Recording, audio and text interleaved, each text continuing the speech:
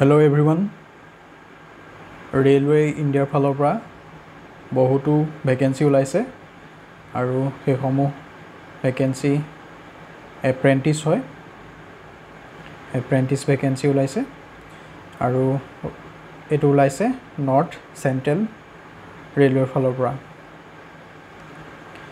আৰু ইয়াৰ আবেদন এপ্লিকেশ্যনৰ starting date হৈছে দুই আগষ্ট।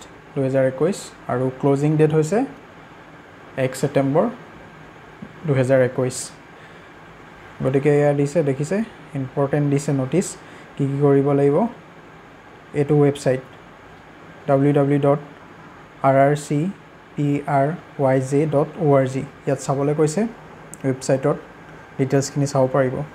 আৰু ইয়াত কৈছে যে গোটেই এপ্লিকেশ্যন অল ইণ্ডিয়াই এপ্লাই কৰিব পাৰিব। ইণ্ডিয়াৰ যিকোনো অঞ্চলৰ পৰা ভাৰতৰ যিকোনো অঞ্চলৰ পৰা এপ্লাই কৰিব পাৰিব। এইখিনি ইম্পৰ্টেণ্ট পইণ্টছ দিছে প্ৰথমতে। তাৰপিছত এয়া দিছে যে অনলাইন ছাবমিট কৰিব পাৰিব কেণ্ডিডেটসকলে আৰু ইয়াত এটা ইম্পৰ্টেণ্ট পইণ্ট দিছে যে যিসকলে এই পষ্ট ওৱান লেভেল ওৱান কেটেগৰিজৰ এপ্ৰেণ্টিছ এই চাৰ্টিফিকেট মানে এপ্ৰেণ্টিছ এই ট্ৰেইনিংটো কমপ্লিট কৰে। তেওঁলোকক প্ৰিফাৰেঞ্চ দিয়া হ'ব টুৱেণ্টি পাৰ্চেণ্ট ভেকেঞ্চিত আণ্ডাৰ নৰ্মছত তেওঁলোকৰ আৰ আৰ বিৰ যোনবোৰ পষ্ট ওলায় তাত তেওঁলোকক প্ৰিফাৰেঞ্চ দিয়া হ'ব। আৰু ইয়াত দিছে eligibility conditions age criteria age criteria কি হ'ব লাগিব? পোন্ধৰ বছৰ মিনিমাম হ'ব লাগিব আৰু চৌবিছ বছৰ maximum on first September two thousand twenty one আৰু এয়া S T S C O' B চিৰ কাৰণে অকণমান ৰিলেক্সেবল পাঁচ বছৰ আছে। দেখিছে? আৰু এক্স ছাৰ্ভিচমেন আৰু পি ডাব্লিউ কেণ্ডিডেটৰ বাবে ten ten years year relaxation আছে। আৰু নেক্সট হৈছে এইখিনি ৰিজাৰ্ভেশ্যন কাৰ কাৰ কাৰণে ৰিজাৰ্ভেশ্যন আৰু এজ এজ কেটেগৰী কিমান কিমান হ'ব ইয়াত দিয়া আছে গোটেইখিনি কেটেগৰীৰ কাৰণে। আৰু নেক্সট আহিলোঁ এচেঞ্চিয়েল কোৱালিফিকেশ্যন কি কি কোৱালিফিকেশ্যন লাগিব? এডুকেশ্যন কোৱালিফিকেশ্যন প্ৰথমতে হ'ব লাগিব ক্লাছ টেন আৰু টেন প্লাছ টু এক্সামিনেশ্যনৰ ফিফটি পাৰ্চেণ্ট এগ্ৰিগেট থাকিব লাগিব। তাৰপিছত এইসমূহ ট্ৰেডত তেওঁলোকৰ চাৰ্টিফিকেট আই টি আই বা I T I certificate N C V T বা S C V T certificate থাকিব লাগিব। লগতে এতিয়া আহোঁ কি কি পষ্টৰ বাবে এই ভেকেঞ্চিসমূহ ওলাইছে। প্ৰথমতে ওলাইছে ফিটাৰ। ফিটাৰত ফিটাৰ ট্ৰেডত তেওঁলোকৰ চাৰ্টিফিকেট থাকিব লাগিব আৰু এইসমূহ ট্ৰেডৰ fitter welder machinist carpenter electrician এইসমূহ ট্ৰেডৰ বাবে ভেকেঞ্চি ওলাইছে। গতিকে ইয়াত চাব পাৰে ইয়াত দেখিছে প্লাম্বাৰ সকলোৰ বাবে ষ্টেন'গ্ৰাফাৰো আছে তেওঁলোকৰ কাৰণে ওলাইছে।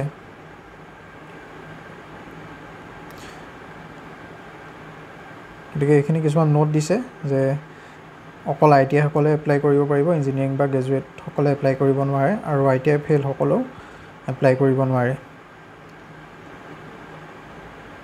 এইখিনি দিছে ট্ৰেড ৱাইজ শ্লট কি কি শ্লটত এপ্লাই কৰিব পাৰিব। তাৰপিছত এইখিনি আছে কেনেকৈ মানে চিলেকশ্যন হ'ব তাৰ চিলেকশ্যন প্ৰচিডিঅ'ৰখিনি ইয়াত দিয়া আছে। আৰু ইয়াত দিয়া আছে ই ডাব্লিউ এছ কেণ্ডিডেটৰ বাবে ৰিজাৰ্ভেশ্যন কেনেদৰে তেওঁলোকৰ ৰিজাৰ্ভেশ্যন থাকিব এইখিনি পইণ্টছ দিয়া আছে। তাৰপিছত আহিছোঁ পে'মেণ্টছ অফ ফিজ কিমান ফিজ দিব লাগিব এপ্লিকেশ্যন ফিজ হৈছে হাণ্ড্ৰেড ৰুপিজ আৰু S T S C P W আৰু অমেন এপ্লিকেণ্টছৰ বাবে কোনো ফিজ নালাগে। আৰু ফি পে'মেণ্টটো অনলাইন পে'মেণ্ট কৰিব পাৰিব ইয়াত দিয়া আছে। এই এপ্লিকেশ্যনটো এই ৱেবছাইটটো গৈ পেলাই তেওঁলোকে কেণ্ডিডেটসকলে এপ্লাই কৰিব পাৰিব। তাৰপিছত ইয়াত দিয়া আছে মেডিকেল ফিটনেছ কি কি থাকিব লাগিব। মেডিকেল ফিটনেছৰ কাৰণে এই চাৰ্টিফিকেট গভমেণ্ট ডক্টৰৰ ওচৰত এখন তেওঁলোকে চাৰ্টিফিকেট উলিয়াব লাগিব। গভমেণ্ট ডক্টৰে চাইন কৰা হ'ব লাগিব। তাৰপিছত এইসমূহ কণ্ডিশ্যনছ দিছে কিছুমান। তাৰপিছত আহিলোঁ মড অফ চিলেকশ্যন কিদৰে চিলেকশ্যন কৰা হ'ব। তাত কৈছে যে fifty percent I T I marks আৰু ফিফটি পাৰ্চেণ্ট মেট্ৰিকুলেছ মেট্ৰিকুলেশ্যন বা ক্লাছ টেন মাৰ্কছৰ লৈ ফিফটি ফিফটি পাৰ্চেণ্ট কেলকুলেট কৰা হ'ব। তাৰ ৱেইটেজৰ ওপৰত চিলেকশ্যন প্ৰচিডিঅ'ৰ হ'ব আৰু কোনো ৰিটেন টেষ্ট বা কোনো ভাইভা নহয়।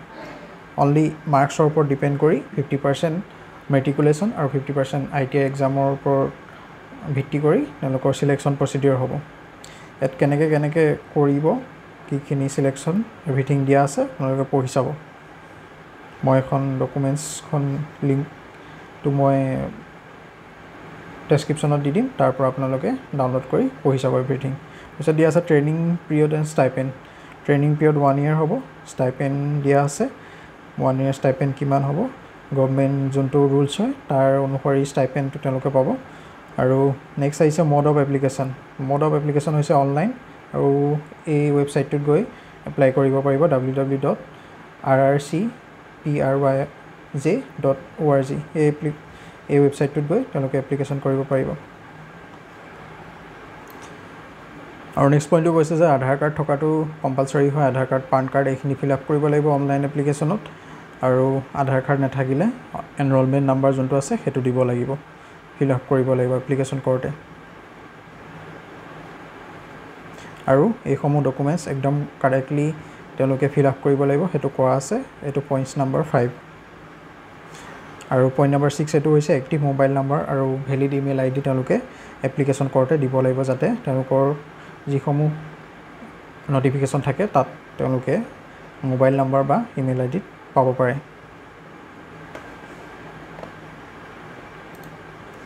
আৰু নেক্সট দি আছে ডকুমেণ্টছ কি কি আপলোড কৰিব লাগিব। কেণ্ডিডেটসকলে কি কি ডকুমেণ্টছ এপ্লিকেশ্যন কৰোঁতে আপলোড কৰিব লাগিব। ক্লাছ এইট মাৰ্কশ্বিট বা ক্লাছ টেনৰ মাৰ্কশ্বিট আপলোড কৰিব লাগিব। Date of birth proof certificate এখন আপলোড কৰিব লাগিব আই টি আই মাৰ্কশ্বিট আৰু তেওঁলোকৰ পাছ চাৰ্টিফিকেটখন আপলোড কৰিব লাগিব। এছ টি বা S S C V T বা এন এন চি ভি টিৰ যিকোনো। তাৰপিছত এইটো কাষ্ট চাৰ্টিফিকেট আপলোড কৰিব লাগিব। তাৰপিছত পি ডাব্লিউ চাৰ্টিফিকেট থাকিলে পি ডাব্লিউ ডি কেণ্ডিডেটৰ এপ্লাই কৰিব লাগিব। স্কেন কপি তেওঁলোকৰ কালাৰ ফটো পাছপৰ্ট চাইজ এইটো কি কি দিয়া আছে চাইজো দিয়া আছে সেই সেই প্ৰচিডিঅ'ৰ ফ'ল' কৰি তেওঁলোকে আপলোড কৰিব লাগিব। আৰু দিছে ছিগনেচাৰো আপলোড কৰিব লাগিব। এইটো চাইজ দিয়া আছে গতিকে এই চাইজখিনি একুৰেট হ'ব লাগিব তেতিয়াহে এপ্লিকেশ্যন ছাকচেছফুলি আপলোড হ'ব।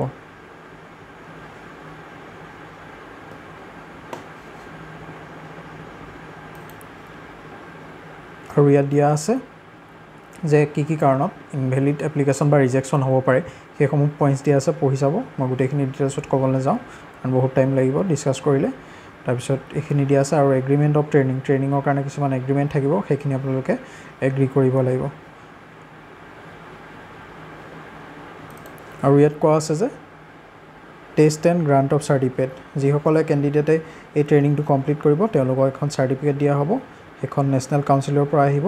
গতিকে তেওঁলোকে সেই যোনটো ট্ৰেডত তেওঁলোকৰ এফিচিয়েঞ্চি আছে সেই ট্ৰেডৰ ভিত্তি কৰি তেওঁলোকে চাৰ্টিফিকেট পাব। এতিয়া আছে হোষ্টেল একমডেশ্যন দিয়া নহয় সেইটো পইণ্টছ দিয়া আছে ইয়াত আৰু কিছুমান ইম্পৰ্টেণ্ট ইনষ্ট্ৰাকশ্যন দিয়া আছে যে তেওঁলোকৰ ডিচিশ্যনে ফাইনেল হ'ব আৰু বেলেগ একো পিছত তেওঁলোকে একো কনচিডাৰ নকৰে গতিকে ফাইনেল ডিচিশ্যন ৰেলৱে ইণ্ডিয়াই যি লয় সেইটোৱে তেওঁলোকৰ ফাইনেল ডিচিশ্যনছ হ'ব।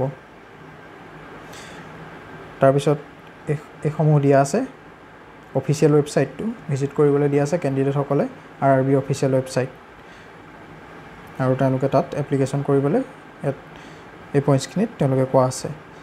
এইটো আকৌ এবাৰ কৈ দিছোঁ applicants are advised to refer only the official website of R R C N C R that is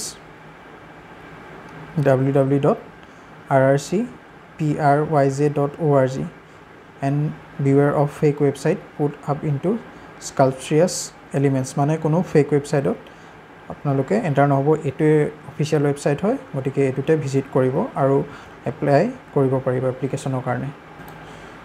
গতিকে মই এই ডকুমেণ্টছখন ডেছক্ৰিপশ্যনত দি দিম। তেওঁ আপোনালোকে ডাউনলোড কৰি ভালদৰে পঢ়ি চাই এপ্লাই কৰিব পাৰিব। ধন্যবাদ। গতিকে আজি ইমানেই আছিল ভিডিঅ'টো। ভাল পালে ভিডিঅ'টো লাইক কৰিব। চেনেলটো ছাবস্ক্ৰাইব কৰি দিব যাতে আগলৈ এনেকুৱা সমূহ ভিডিঅ' আপোনালোকে নটিফিকেশ্যন খুব সোনকালে পাই যায়। আৰু এটা কথা যে আমাৰ এটা টেলিগ্ৰাম চেনেল খোলা হৈছে তাত আপোনালোকে ছাবস্ক্ৰাইব কৰি আপোনালোকে তাত যাব পাৰে তাতো আপোনালোকে নটিফিকেশ্যন খুবি খুব সোনকালে পাই যাব। ধন্যবাদ। গতিকে তাৰ ডেছক্ৰিপশ্যন তলত ডেছক্ৰিপশ্যনত তাৰ লিংক দিয়া থাকিব টেলিগ্ৰাম চেনেলৰ ধন্যবাদ।